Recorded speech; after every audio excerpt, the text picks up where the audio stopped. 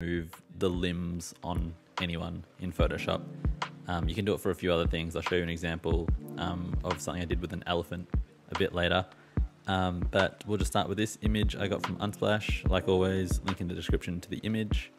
So first of all, I will duplicate the layer with Control or Command J. Then what we want to do is separate the person from the background, just so we can manipulate the person without screwing up the background. So the easy way to do this is click over here, the object selection tool. If yours doesn't look like this, click and hold or bring up these options. So yours might look like the quick selection tool at the moment, but just hit object selection. Now what it does is Adobe, if you got the newer version, will automatically detect subjects and backgrounds and things with its AI. Um, or you can just hit select subject and it'll do a pretty good job at choosing the subject you want, which it did. Did a pretty good job. Now what we want to do is hit Command J or Control J. So you've just got a layer just of the person. And now you want to go back into the underlayer, underlayer, background layer, and remove the person from the image and just have a clean background, just so that when you're changing the top layer, the bottom layer is not pushing through, if that sort of makes sense. I'll try and show you a bit later on. So what we need to do is select the subject again. And what we want to do is expand our selection a little bit, just so that we've got some of the background and then use content aware fill to fill in the gaps.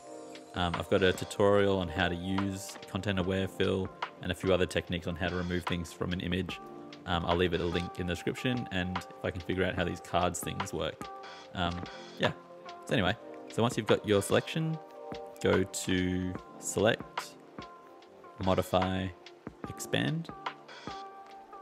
I reckon 50 pixels should be enough and hit OK. And you can see what it did. It just pushed out the selection 50 pixels from all directions.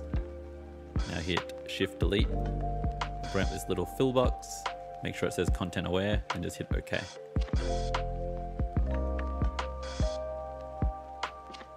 And there you go. So now you can just add the person in and remove him however you like. So the next step is to actually start playing around with the puppet tool. So click your um, subject layer, so mine's layer 2. Go to edit, puppet warp, and it'll do this cool thing where it draws a mesh over your subject. You can change the density of the mesh. Um, well, that's not density, this one is. To have more points or fewer points. I tend to just keep it at normal. To be honest, I don't use this a whole lot. It's just kind of fun to play around with if you want to mess around with an image. So you'll be presented with a little, like your cursor will turn into a pin. It's like a thumbtack.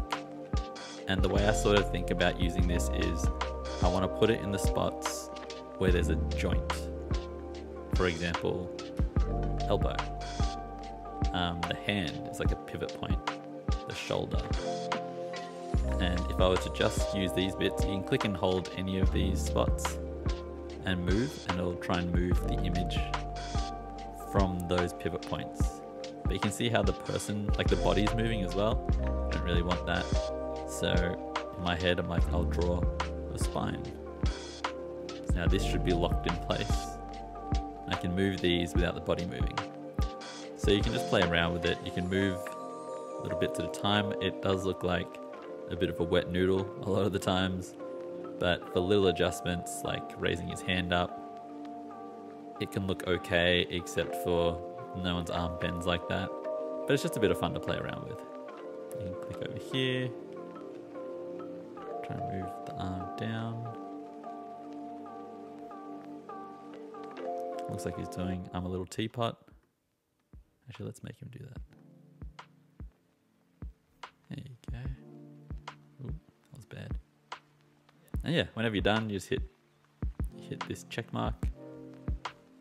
It looks weird. You wouldn't really use this that often, but like I said, it's just a tool that you can play with. And what I meant before by removing him from the image so it doesn't conflict with the underlying layer. If I turn this layer back on, so this is my original background layer with the original image, and then I put in the newly modified dude, it looks weird because it's not removing the original guy. So I don't know what that looks like, but it looks pretty bad. So that's why we, we aim to just have a clean background, so a clean background, remove the subject, and yeah, then modify the subject however you want on, on the top of a clean background. I hope you enjoyed this quick little video. It's it's a bit of fun just to learn all the little tools that you can use in Photoshop. Um, I'll quickly try and put on a video of me modifying an elephant's trunk for a collaboration I did um, on Instagram. Um, I'll try and make that play now, um, just so you can see an actual practical application of using this. But yeah, thanks for thanks for clicking the video, and hope you like, comment, subscribe, all that stuff, and have a good one. Thanks.